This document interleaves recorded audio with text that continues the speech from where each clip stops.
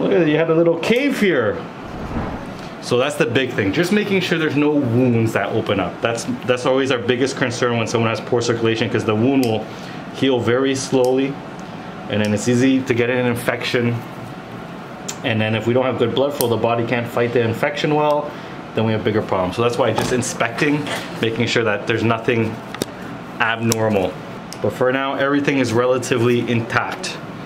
But putting on moisturizer, very, very important.